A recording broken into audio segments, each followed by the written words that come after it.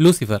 വീണുപോയ ദൂതനായ ലൂസിഫറിനെ കുറിച്ച് നമ്മൾ ഒരുപാട് കേട്ടിട്ടുണ്ട്. ക്രിസ്തീയ വിശ്വാസം അനുസരിച്ച് ലൂസിഫറാണ് ദൈവത്തിന്റെ സ്വർഗീയ ദൂതന്മാരുടെ കൂട്ടത്തിൽ ഏറ്റവും സുന്ദരനായ ഒരു ദൂതൻ. അവൻ ദൈവത്തെ പോലെ ആകാൻ ആഗ്രഹിച്ചു. അതുകൊണ്ട് കുറച്ച് ദൂതന്മാരെ അവന്റെ പക്കലാക്കി ദൈവത്തോട് മത്സരിച്ചു. സ്വർഗത്തിലെ ഒരു യുദ്ധത്തിനു ശേഷം ലൂസിഫറെയും അവന്റെ കൂടെ ചേർന്ന ദൂതന്മാരെയും താഴെയിട്ടു. അങ്ങനെ അവൻ വീണുപോയ ദൂതനായി പിന്നെ സാത്താനായി. അവന്റെ കൂടെ വീണുപോയ ദൂതന്മാർ പിശാചികളായി. ഇത് എല്ലാവർക്കും അറിയാം.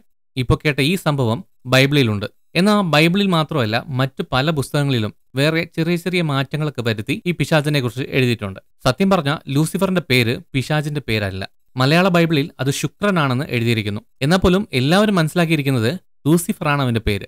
മലയാളത്തിൽ വന്നപ്പോൾ അത് ശുക്രനായി എന്നാണ്. ലൂസിഫറിന്റെ പേര് എങ്ങനെ ഉണ്ടായി എന്നത് കൂടുതൽ രസകരമാണ്.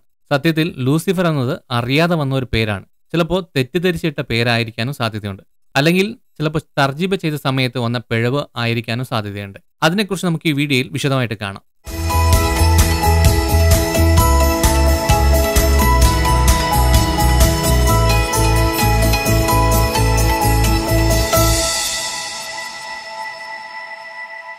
സാത്താൻ പിശാജ് മൃഗം എന്നൊക്കെയുള്ള പല പേരുകളിൽ ഒരു പേര് മാത്രമാണ് ഈ ലൂസിഫർ.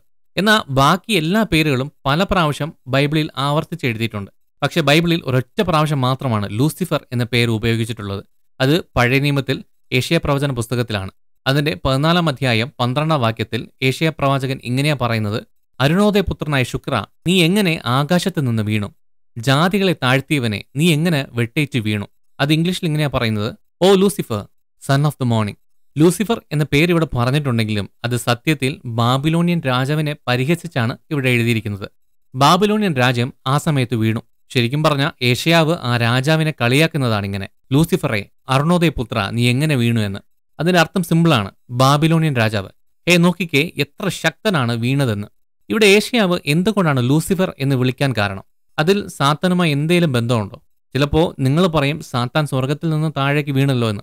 ബാബിലോണിയൻ രാജാവിനെ ഇവിടെ സാത്താനായി ഉപമിക്കുന്നത് നല്ലത് തന്നെയാണ് കുഴപ്പമൊന്നുമില്ല. പക്ഷേ നമുക്കിതിന്റെ മൂലഭാഷ വായിക്കുന്ന സമയത്ത് ഏഷ്യാവ് ഒരിക്കലും ഇങ്ങനെയല്ല ഉദ്ദേശിച്ചതെന്ന് നമുക്ക് മനസ്സിലാവും. നമുക്ക് ഈ വാക്യം യഥാർത്ഥ ഹീബ്രുവിൽ വായിച്ചാൽ ഏഷ്യാവ് ഇങ്ങനെയാണ് കളിയാക്കുന്നത്. ഒറിജിനൽ ഭാഷയിൽ നമുക്ക് വായിക്കാം.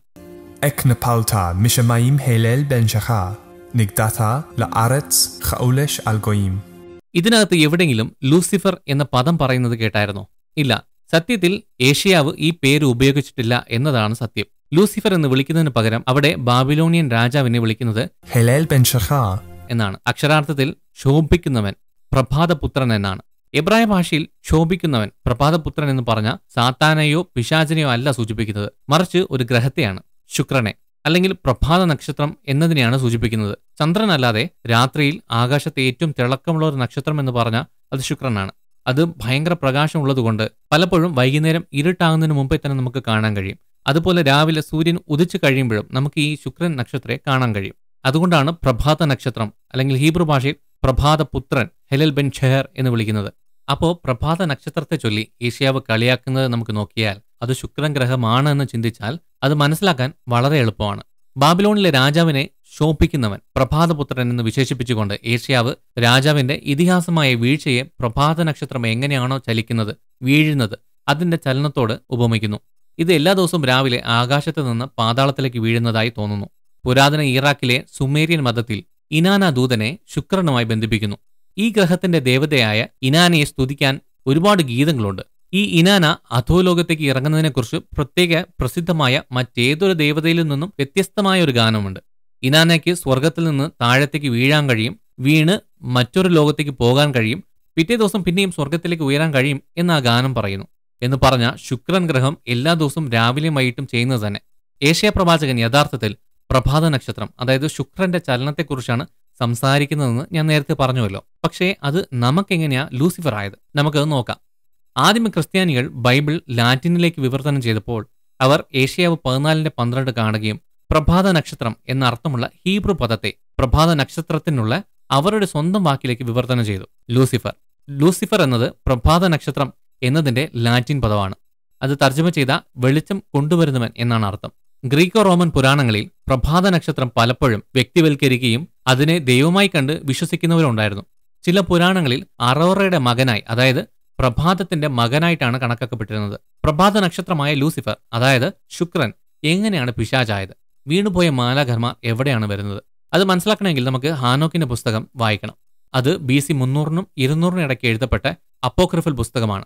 ബൈബിൾ ക്രമപ്പെടുത്തിയ സമയത്ത് ഈ പുസ്തകം ചേർത്തിട്ടില്ല. എന്നാൽ ഇത് രണ്ടാം ജൂത ദേവാലയ സമയത്ത് ജനപ്രീതിയുള്ള ഒരു പുസ്തകമായിരുന്നു. ഈ ഹാനക് പുസ്തകത്തെക്കുറിച്ച് പഠിക്കാൻ താല്പര്യമുണ്ടെങ്കിൽ ഹാനോക്കിന്റെ പുസ്തകം മുഴുവനും അതായത് പത്ത് അധ്യായങ്ങളുണ്ട് മുഴുവനും വിവരിച്ചിട്ടുണ്ട്. അതിന്റെ ലിങ്ക് ഐക്കാർഡിലും താഴെ ഡിസ്ക്രിപ്ഷനിലും ഇടുന്നു. കാണാത്തവർ കാണുക. ഹാനോക്കിന്റെ പുസ്തകത്തിൽ വാച്ചേഴ്സ് എന്നൊരു അധ്യായമുണ്ട്. ഈ അധ്യായത്തിൽ മനുഷ്യരാശിയെ നിരീക്ഷിക്കാൻ ഭൂമിയിലേക്ക് അയക്കപ്പെട്ട ചില നിരീക്ഷക ദൂതന്മാരെക്കുറിച്ച് പറഞ്ഞിട്ടുണ്ട്. എന്നാൽ ആരും വിചാരിക്കാത്ത ഭയങ്കരമായ തെറ്റുകൾ അവർ ചെയ്യാൻ തുടങ്ങി. അവർ മനുഷ്യ സ്ത്രീകളെ മോഹിച്ചു. അവരുടെ നേതാവായ സംയാസയുടെ നേതൃത്വത്തിൽ എല്ലാവരും ദൈവത്തിന്റെ കൽപ്പനയിൽ നിന്ന് വ്യതിചലിച്ച് മനുഷ്യ സ്ത്രീകളുമായി ബന്ധപ്പെടാൻ തുടങ്ങി. അവരുടെ സന്തതികളെയാണ് നെഫലിം അല്ലെങ്കിൽ രാക്ഷസന്മാർ എന്ന് പറയുന്നത്. ഭൂമിയെ കൊള്ളയടിക്കുകയും മനുഷ്യരാശി നശിപ്പിക്കുകയും ചെയ്തു. ആയുധങ്ങൾ സൗന്ദര്യവർദ്ധക വസ്തുക്കൾ കണ്ണാടികൾ മന്ത്രവാദം മറഞ്ഞിരിക്കുന്ന മറ്റ് രഹസ്യങ്ങൾ തുടങ്ങിയ ചില വിലക്കപ്പെട്ട കാര്യങ്ങൾ സംയാസയും അവന്റെ വീണുപോയ ദൂതന്മാരും മനുഷ്യരാശിയെ പഠിപ്പിക്കാൻ തുടങ്ങി. ആ സമയത്ത് ദൈവം ഭൂമിയെ നോക്കിയപ്പോൾ മഹാ ദുഷ്ടതയുള്ള ജനമായി കണ്ടു. അതുകൊണ്ട് ഒരു മഹാ ജലപ്രളയം കൊണ്ട് ഭൂമിയിലുള്ള നെഫലിമുകളെയും ദുഷ്ട മനുഷ്യരെയും നശിപ്പിക്കാൻ തീരുമാനിച്ചു. അതിനു മുന്നേ ഉൽപ്പത്തിയിൽ പറഞ്ഞിരിക്കുന്നത് പോലെ നോഹയോട് പെട്ടകം പണിയാൻ ദൈവം കൽപ്പിച്ചു. അതിനുശേഷം ദൈവം തന്റെ ദൂതന്മാരെ അയച്ചു വീണുപോയ നിരീക്ഷകന്മാരെയും അവരുടെ നേതാവായ സംയാസയെയും ശിക്ഷിച്ചു. ഓർക്കുക ഈ കാര്യങ്ങൾ പ്രധാനമായും ക്രിസ്ത്യാനികൾക്കോ യഹൂദ മതത്തിനോ യാഥാർത്ഥ്യത്തിൽ കാനോനികമല്ല. ഇതൊരു അപ്പോക്രിഫൽ പുസ്തകമാണ്. ഇന്നത്തെ കാലത്ത് അതൊരുതരം ബൈബിൾ കെട്ടുകഥ എന്നാണ് പറയുന്നത്. എന്നാൽ അക്കാലത്ത് ആളുകൾ ഹാനോക്കിന്റെ പുസ്തകത്തെ വളരെയധികം ഇഷ്ടപ്പെട്ടിരുന്നു ബഹുമാനിച്ചിരുന്നു. അത് സമകാലിക മതപരമായ ആശയങ്ങളെ സ്വാധീനിക്കാൻ തുടങ്ങി. പുതിയ നിയമത്തിൽ യൂതയുടെ പുസ്തകത്തിൽ പോലും ഹാനോക്കിന്റെ പുസ്തകത്തിന്റെ വാക്കുകൾ ഉപയോഗിച്ചിട്ടുണ്ട്. ഹാനോക്കിന്റെ സമയത്ത് യഹൂദന്മാരും ആദിമ ക്രിസ്ത്യാനികളും മറഞ്ഞിരിക്കുന്ന ഏതെങ്കിലും രഹസ്യങ്ങൾ കാണാതെ പോയിട്ടുണ്ടോ എന്നറിയാൻ പഴയ നിയമത്തിൽ ഒരുപാട് അന്വേഷിച്ചു. ആ സമയത്താണ് ഏഷ്യാവിന്റെ പുസ്തകത്തിലെ ഈ ചെറിയ വാക്യം അവർ ശ്രദ്ധിച്ചത്. ഏഷ്യാവ് യഥാർത്ഥത്തിൽ ഉദ്ദേശിച്ചതുപോലെ ഒരു ശുക്രൻ ഗ്രഹത്തെക്കുറിച്ചാണ് പരാമർശിച്ചിരിക്കുന്നത് എന്നും മനസ്സിലാക്കാതെ ഹാനോക്കിന്റെ പുസ്തകത്തിൽ പറഞ്ഞിട്ടുള്ള വീണുപോയ ദൂതനായ സംയാസയെക്കുറിച്ചുള്ള ഒരു മറഞ്ഞിരിക്കുന്ന പരാമർശമാണ് എന്ന് വിചാരിച്ചു.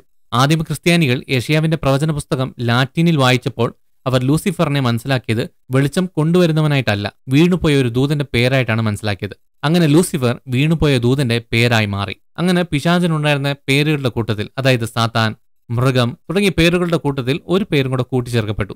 ഇപ്പോൾ പിശാചിന് കൊടുക്കപ്പെട്ടിട്ടുള്ള മറ്റ് പേരുകളുടെ ഉത്ഭവം നോക്കിയാലും ഇതുപോലെ രസകരമായ കാര്യങ്ങൾ അതിന്റെ പിന്നിലുണ്ട്. ഇനി വരുന്ന വീഡിയോയിൽ ഇതിനെക്കുറിച്ച് ചെയ്യാനും ആഗ്രഹിക്കുന്നു. ഇതാണ് ലൂസിഫർ എന്ന പേരിന്റെ അർത്ഥമായി നമുക്ക് ലഭിക്കുന്ന കാര്യങ്ങൾ. ഇന്നത്തെ ഇംഗ്ലീഷ് ബൈബിളുകളിലെല്ലാം ലൂസിഫർ എന്ന പേര് ഉപയോഗിക്കുന്നില്ല. പകരം ഏഷ്യ പതിനാലിന്റെ പന്ത്രണ്ടിൽ മോർണിംഗ് സ്റ്റാർ അരുണോദയ പുത്രൻ എന്നാണ് ഉപയോഗിക്കുന്നത്. ലൂസിഫർ ഈ പേര് എങ്ങനെ വന്നു എന്നതിന്റെ വ്യാഖ്യാനം ഞാൻ പറഞ്ഞത് വളരെ കുറച്ചു കാര്യമേ ഉള്ളൂ. കൂടുതൽ കാര്യങ്ങൾ അറിയാൻ താല്പര്യമുണ്ടെങ്കിൽ ഞാൻ താഴെ ഡിസ്ക്രിപ്ഷനിൽ ലിങ്ക് ഇടാം. വായിച്ച് കുറച്ചുകൂടെ ആഴമായി മനസ്സിലാക്കാൻ ആഗ്രഹിക്കുന്നവർ ആ ലിങ്കിൽ ക്ലിക്ക് ചെയ്ത് വായിക്കുക. ഈ വീഡിയോ ഇഷ്ടമായാൽ ലൈക്ക് ചെയ്യുക സബ്സ്ക്രൈബ് ചെയ്യുക നിങ്ങളുടെ അഭിപ്രായങ്ങൾ താഴെ കമന്റ് ബോക്സിൽ രേഖപ്പെടുത്തുക. നിങ്ങൾ ദൈവത്താൽ അനുഗ്രഹിക്കപ്പെട്ടവർ.